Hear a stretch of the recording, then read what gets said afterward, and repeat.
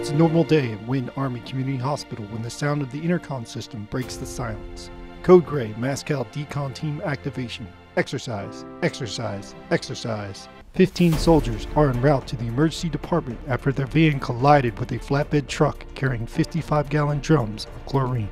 Wilson Rodriguez, Military Treatment Facility Emergency Manager for Winn Army Community Hospital, monitors the situation from his seat in the Emergency Operations Center. In every situation, every exercise, it's going to be chaotic, but it's how the command and the Emergency Operations Center and the leaders of each department gain control and overcome those on-the-spot incidents. The scenario is moving smoothly so far, but this exercise will test the resolve of the entire hospital.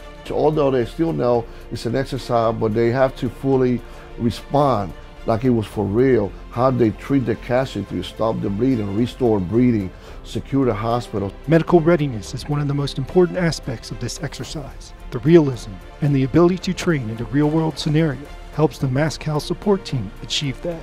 You can only do so much brainstorming, trying to critically think a situation through in your head.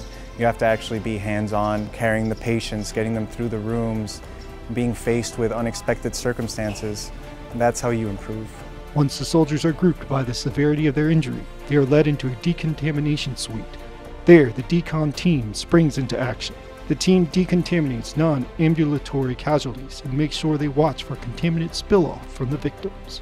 For the immediate casualties, such as the soldier with the pole perforating his abdomen, the team carefully removes the clothing around his injury and skillfully cleanses and decontaminates the area.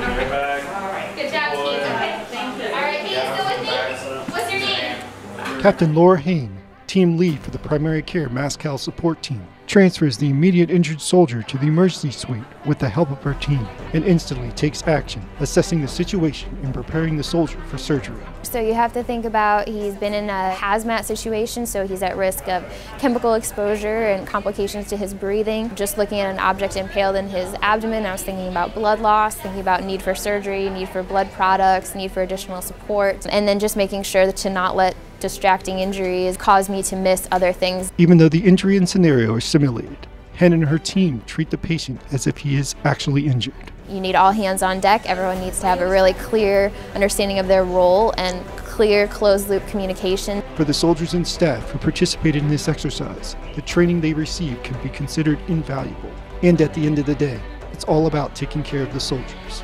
This is critical. I think our primary function in the medical command is to provide readiness for wounded warriors and if we don't get the battlefield training skills correct, then really nothing else that we're doing matters. For Winn Army Community Hospital Public Affairs, I'm Zach Rehnstrom.